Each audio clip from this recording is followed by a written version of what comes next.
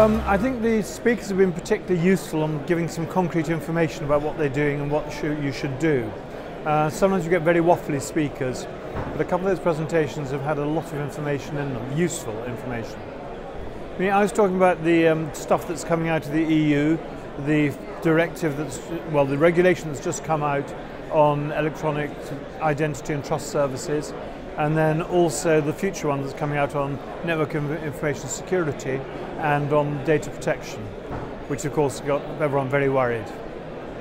Um, some idea about what they ought to be doing to secure themselves because if government's going to get digital by default going, it's got to make sure that people trust the information that's coming from government, that they're dealing with the person they think they're dealing with, or the website they think they're dealing with.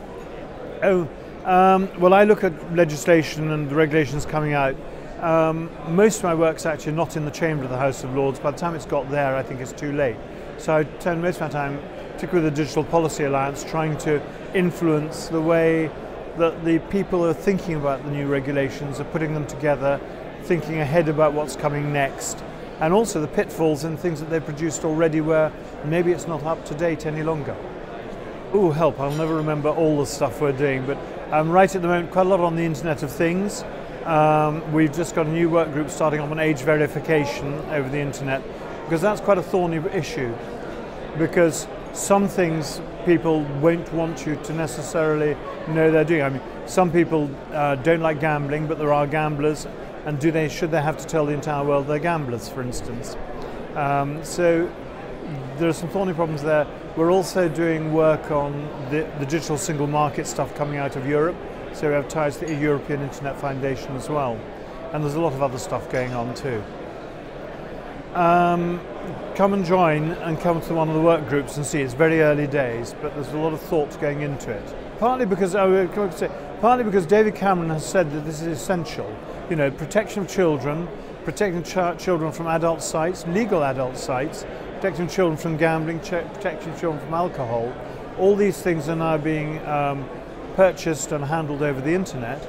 But if we're going to protect the, the next generation properly, we do need to have systems in place which are also acceptable to adults' privacy. Well, it's very similar to the business about the right for rehabilitation after a criminal offence and it's expired and taken off your record after a while. But there are some things that are so heinous that they shouldn't be. So it's a difficult one because I don't think there are some things which factually happened that should be pretended that they didn't ever happen. On the other hand, we have the right to grow up, change, behave more responsibly as we grow older, um, some of us. And um, there is the, and there's also the problem of actually practically doing it. It's very difficult when the information is all over the place and it's sitting on backup drives and it's mirrored around the world. So I'm not sure how practical it is in this internet age. It sounds good, it, but I'm not sure it, will work. Oh, it's going to be very difficult because the trouble is that some aggregated, some data in aggregation is fine and very useful for management purposes. At an individual level, it may reveal things that are useful to criminals about you. Um, so in data mining big data, uh, well, big data just means a huge amount of stuff stuffed together in one place. In mining it and looking for information in that, you may first establish patterns that aren't really true. They look as if they're leading to criminality and they're not. So people may get, um, if it's looking at people as opposed to just general management, it may target people in unfairly. On the other hand, um, some of that stuff again may be very personal to you and may reveal things about what you're doing when you're not out. Well, sorry, when you're out, so criminals could use it to burgle your house. It's a very confused landscape, that whole Internet of Things and big data. They're different, but the Internet of Things will lead to huge agglomerations of data. So, you know, what's the come? And also, of course, some of this stuff, like communications data, could be used for business intelligence purposes by foreign powers who might, under memorandum of understanding, get access to it. So, it's a thorny area. Sorry. Ah, you'd probably never. And this is the trouble because people have got their own agendas, their own motivations human and just being human comes into it. If someone's in distress, you do your best to help them.